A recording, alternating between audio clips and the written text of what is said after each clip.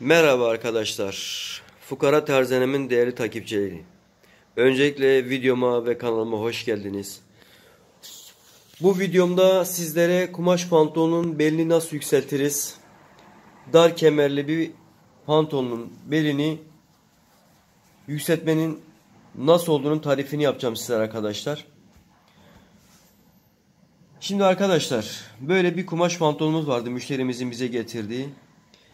Eski kemer çizgisini görüyorsunuz.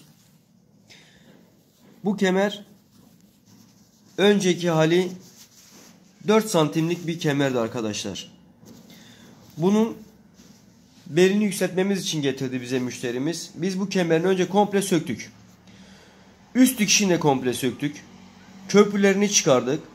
Buradaki ilik yerlerini iğneyle veya sökücüyle teker teker sökerek zedelemeden ikiye böldük arkadaşlar.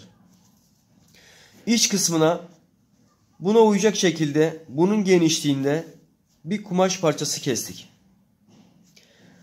Kemeri önce üstten montamizi yaptık. Ütüde kırdık. Düzgün bir şekilde bu e, önceki oluşan deformasyonlarını giderdik. Düzgün temiz bir kemer çıksın diye.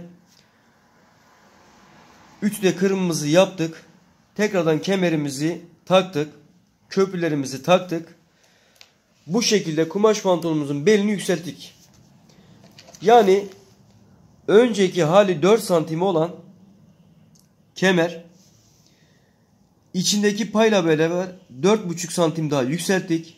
Toplamda 9 santimlik bir kemer oldu arkadaşlar. Yani düşük bel pantolon giymek istemeyen yüksek bel pantolon giymek isteyen arkadaşlara bu şekilde terzinize götürüp gösterirseniz veya tarifini yaparsanız yüksek bel pantolonunuz oluyor.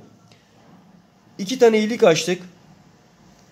İki tane ona göre düğmemizi ayarladık.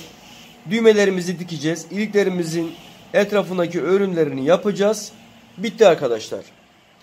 Videomu sabırla izlediğiniz için teşekkür ederim. Yeni bir video görüşmek dileğiyle. Hoşça kalın arkadaşlar. Beğenmeyi ve takip etmeyi unutmazsanız tavsiye etmeyi unutup sevinirim. İyi günler.